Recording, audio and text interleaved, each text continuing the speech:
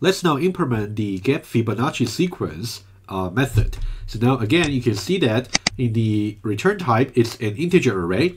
So that means we have to create an array internally inside the method and return it. And, and the size of the array depends on uh, the input parameter i. Okay, let's review. Uh, let's see what a Fibonacci sequence is. Uh, it's already explained here. I assume already read the, uh, the description. Let me summarize uh, that very quickly. And we can make the assumption that the input i is larger than or equal to 0. It's not going to be negative, but what if it's 0? What if it's 1? What if it's 2? And etc. Okay, so now let's look at uh, this explanation over here. So Fibonacci sequence itself can be infinite. So now the i over here is simply going to give us the uh, first i elements in the Fibonacci sequence. When i is 0, that means we want to get the first 0. That's pretty much like getting the, uh, the first 0 elements in an arithmetic sequence. That would just give us empty array. Similar idea. Okay, let's now just study the sequence very quickly. Okay, so now for Fibonacci sequence over here, is always the case. The first uh, first element is always 1 the second element is always 1. So these two are always fixed. So that means when you say, first of all, when you say get Fibonacci sequence, uh, the zeroth elements, in that case, it will just return empty array. Okay, rather than null array, empty array. Similar to when you say you want to get a zeroth, uh, the first zero elements from the arithmetic sequence, it will just be empty array. And what about if I want to get the first, uh, the first elements of the Fibonacci sequence, it will just give me an array of size 1 of index 0, and it will just be 1, corresponding to the first element over here. So what about if I have over here, get Fibonacci sequence 2? In that case, I will return an array of size 2. Okay, so with index 0 and 1, and then 1 and 1. So that correspond to the first two elements. So it seems like 0, 1, and 2. So these are the three special cases for us. Okay? And now, what about the 5 over here? Okay, it will also return an array of size 5.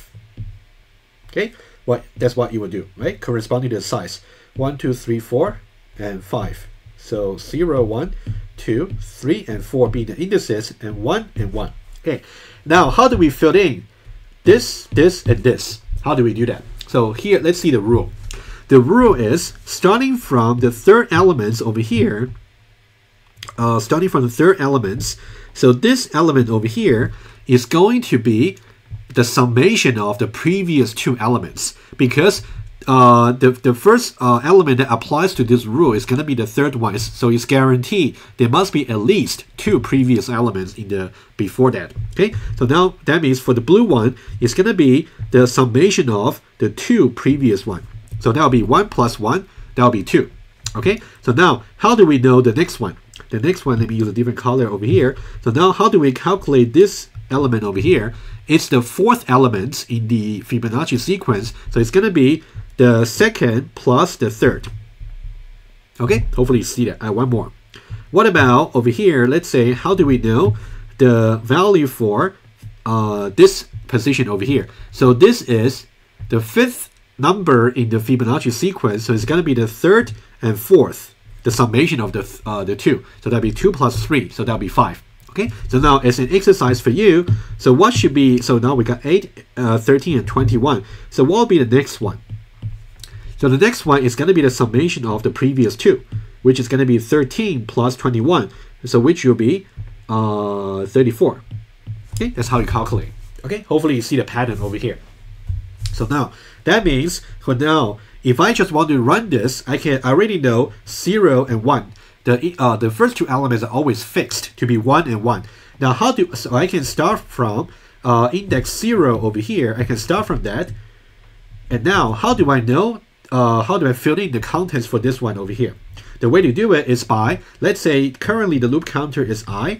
So what I should do is, I should really go to uh, elements at position i minus 1 and also position i minus 2.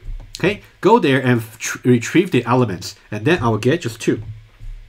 And similarly, when I increment uh, to go to the next iteration, i is pointing to here, and then our uh, position i minus 1 will be here, position i minus 2 will be here. So 1 plus 2, I will get 3.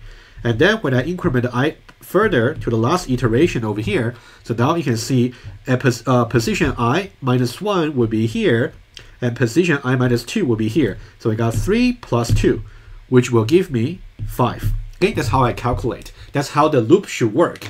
So now let's make it work in Java. Okay, hopefully you can see the illustration. Okay, so now if you go back there, let's see uh, what we can do. Okay, so now what I would do is I will simply do, uh, let's declare the sequence that we, will, we would like to return. Integer array sequence is assigned to new integer array of size i. Return the sequence. Okay, eventually.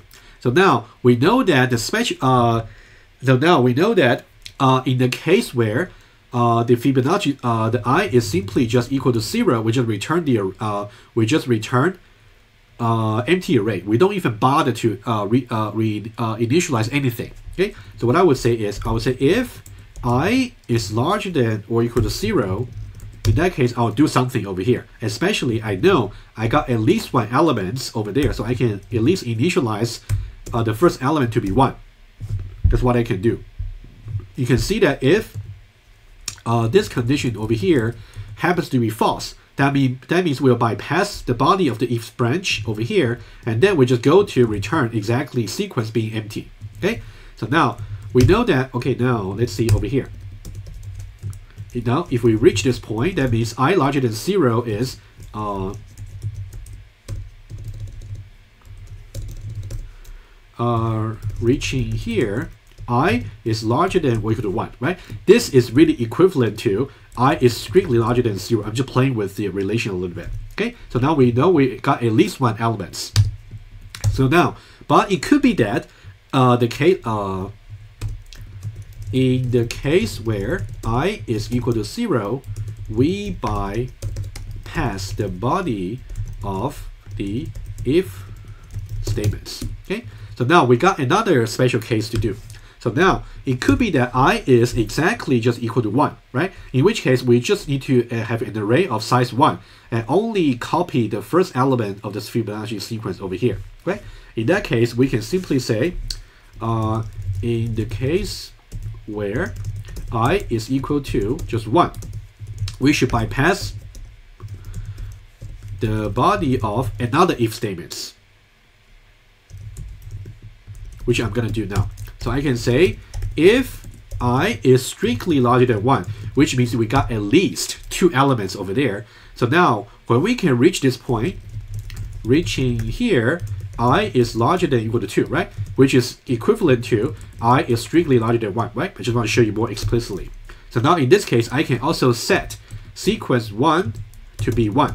So now, up to now, I want you to run. Uh, I want you to run a little bit more uh, some test cases with you, just uh, over here. If i is equal to zero, that means zero larger than zero will be false, which means we bypass the entire thing, and then return sequence being empty array. So that's correct. In the case where i is equal to one, that means we uh, we create an array of size one over here, and then one larger than zero is true. So we set the first elements of the array to be 1, which is pretty much like this case over here. Okay? And then 1 larger than 1 would be false, which means we bypass everything over here. And then we simply return that particular array of size 1. Okay, like that.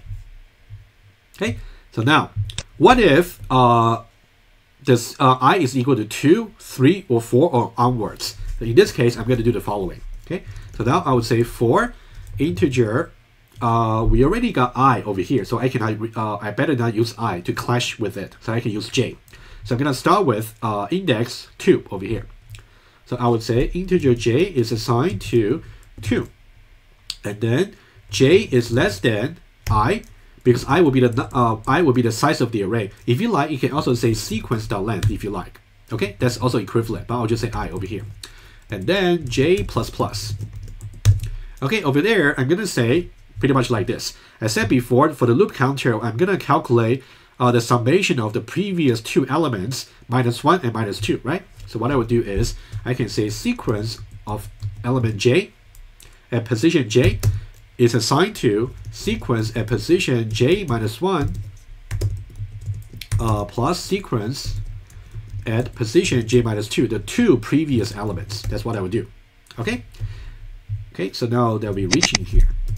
Okay, let me give you another special case over here.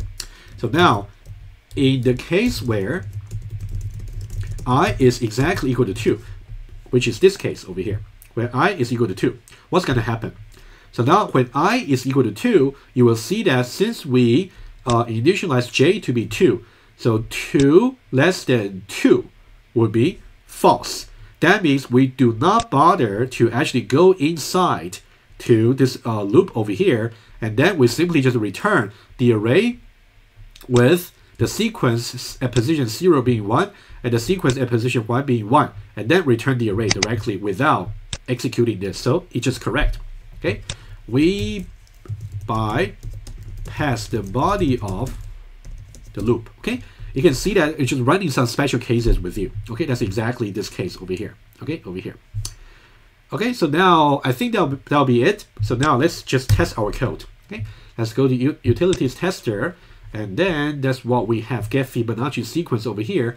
Okay, you can see that over here we are calling some helper method which I define over here for you. You can feel free to study that. It's not difficult. So that you can also refer to the lecture notes. We talk about given some integer array, how we can output its string representation starting from curly brackets and ending with curly brackets and separated each element with comma. Okay, that's something I can leave to you. Again, it's a case study. Okay, let's go back to uh, get Fibonacci sequence over here. So I just get different uh, size for you, 0, 1, 2, 3, 4, 5, 6, 7. Okay, let's have a quick look to see what we have. Let's execute a tester. And let's see what we get. So when we get, get Fibonacci sequence over here, you can see when i is equal to 0, so we got empty sequence. Okay, and then when i is equal to 1, we got an array of size 1 and then it was just 1. And when i is equal to 2, we got exactly 1, 1, right? You can see it's 1 and 1, 1, and also empty array. That's exactly what we said before. And now, let's also see what about over here, let's say 5, okay? 5 over here, that's also what we got. We got 1, 1, 2, 3, 5, right? 1, 1, 2, 3, 5, okay? Let's go a little bit further. If I got 7, you can see 1, 1, 2, 3, 5. You can see A over here is exactly equal to 3 plus 5.